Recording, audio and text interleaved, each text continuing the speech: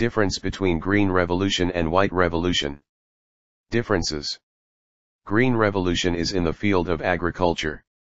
White Revolution is in the field of dairy products. Green Revolution took place in 1940s and 1960s.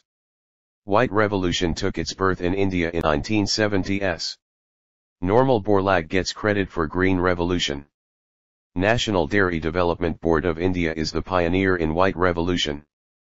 Green Revolution has effect on whole of world. White Revolution is specific to India.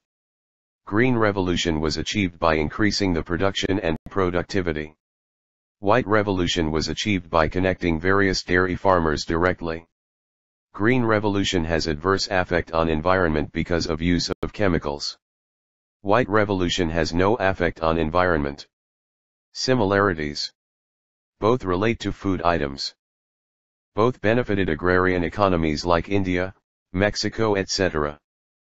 Both aimed at increase in production and productivity. Both ensured maximization of profits for farmers. Both enabled nutritious food to people.